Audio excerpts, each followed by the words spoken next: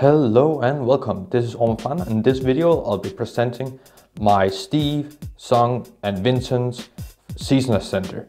To this video there will also be a sister video uh, featuring Sam, David and AJ's uh, Fleet Blitzer deck and these decks are made in uh, comparison to each other so they are somewhat similar in strength and are supposed to go up against each other or having in mind that they are going up against each other. But in this video I'll be just showing off uh, this Season Ascender deck.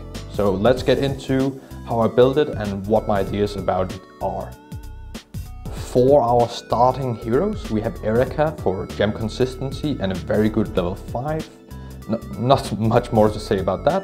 And then we're including Vincent's Yumi to give our consistency in finding all the cards that we want as we're going through the deck.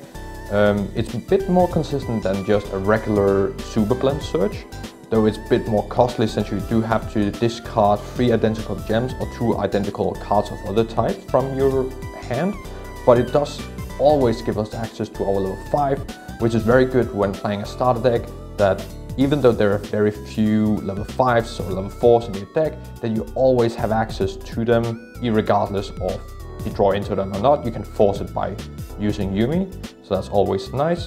We're having Giselle to move our gems around as we want, also nice defense, that's always nice. Um, and Giselle really uh, goes to well together with Hickory because Hickory can find any level 2 that you want. So we are running a lot of level 2s for uh, utility, finding gems and blends and so on. And then we're also running Angel Sung's Angel here, which allows us to move around, which combos well with Giselle because Giselle, whenever you move uh, two heroes, you can move gems between from one of them to the other. So that way you can use Hickory to get all the utility blends out that you want.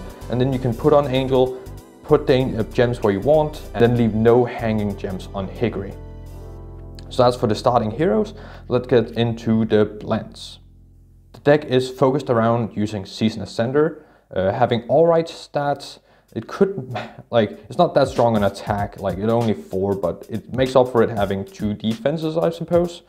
Uh, but it's the effect we are after, where we, if we do a full rotation, full rotation in one uh, direction, we can deal five damage at the end of the turn, so that's what the deck is aiming to do quite consistently, and maybe even doing it more with Steve's Crystal Reflector to copy that effect, so to do 10 damage at the end of turn. So that's what the deck is based around. Then we're having Hail Dominator, uh, basically a very good uh, secondary attacker. Before we having Season Ascender set up, we can begin attacking with Hail Dominator in the center. We're moving around with Angel, uh, so we are quite likely to have Hail Dominator in the middle. Then we have Glisten Blinker, an additional way of dealing damage to our opponent on the way there to not lose too much tempo and we do have a lot of uh, blends that deal that have somewhat high attack stats that we can just discard from hand whenever we want to so that's why Glisten Blinker is there. Then we have Crystal Reflectors. We're having running two Crystal Reflectors. That's both to uh, copy the effect of like Fog Shifter we'll get into, maybe and then Season Ascender in the end game, and maybe even Glisten Blinker if we want to discard a lot of blends from our hand. Um, very good like additional effect. It copies the higher level heroes effect uh, for a lower gem cost, which is always beneficial and efficient. So that's why we are running them. Having multiple level 3s of the same type also combos well with Yumi to always search out our uh, high level blends.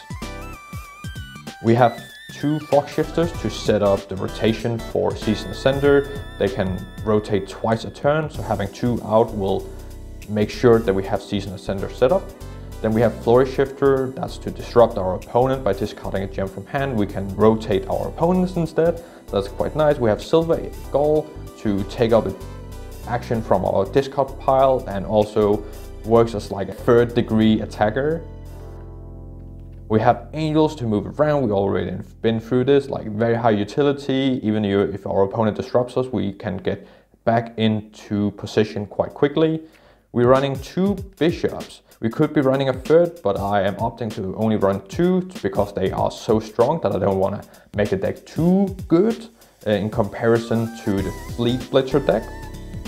And this allows us to get the level 3 blends that I was talking about, but also crucially gems. Um, do keep up that some of these cards have been nerfed in uh, for the next Kickstarter coming up on the 21st of March, this uh, 2023, if you're watching this video prior to that. We are running two Gulls to up the damage from Season Ascender when we do get the damage off. That's quite nice. We're running two shifters, so Hickory has something to do with rotating us around. And we are running three rockets, so we can draw them early, punish our opponent when they blend to deal some damage back to them. Well, it's not really punishing, but keep up pace, basically. And then we have Glisten Blade to discard them with from hand, and so on. And also, we can discard them with Yumi if need be. So that was all for the blend, so let's go into the actions. We are running three gem searches for consistency, really, really nice. We have two rotates to increase the likelihood of getting Season Ascender off. Uh, then we have two super draws for more draw power and consistency. Always feels nice to have cards to work with and getting through your deck so you see the cards you want. Uh, we have one stun to disrupt our opponent, like slow them a bit down, especially against Fleet Reacher, so they don't have the double attack that they want to uh, utilize. We are running two Recycles because in the game that I was playing with this uh, deck against my friend, I ended up discarding both Crystal Reflectors in both, uh, in two of the games, so I never really got to use them. So I realized like, oh, when using Yumi it might be good to be able to recycle some cards back to have them for later in case I end up losing them throughout the game, uh, especially if if that's the first time playing, it feels really bad to lose the cards that you were hoping to rely on. And that's for the actions. And the gems, we are running four Aqua Gems, uh, three, four Pyro Gems, four Cryo Gems, and four Lucio Gems, yeah, and four Aero Gems. Yep, and that's it for the gems. Very basic setup, just four each, so 20 gems total. And for our benched heroes, we are running Lauren uh, as a level 4. Uh, works the same as Giselle, as getting gems around where you want them to be, but in this case it goes back into hand.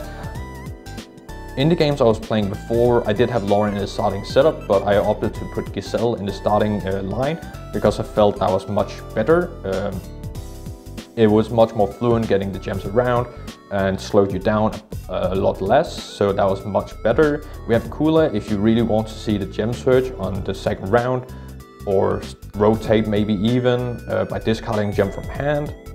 Uh, also nice attack, but yeah, just much not much more in it. Uh, we have Maria, so we can take out Hickory and then put the other two level 3s up to level 4 and blend them in that way.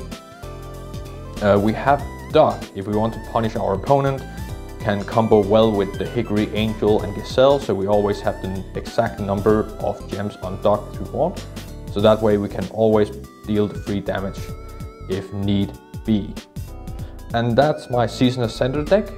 It is built around being not the strongest, so there is a lot of things that can be optimized in the deck uh, and you can play through, you can add, uh, adjust the deck list as you want. I will put the, the deck list in the description and you can modify it as you want, as you play. And I hope you enjoy this and thank you to Steve, Vincent and Sung for the cards. Thank you for watching and I hope you have a great day.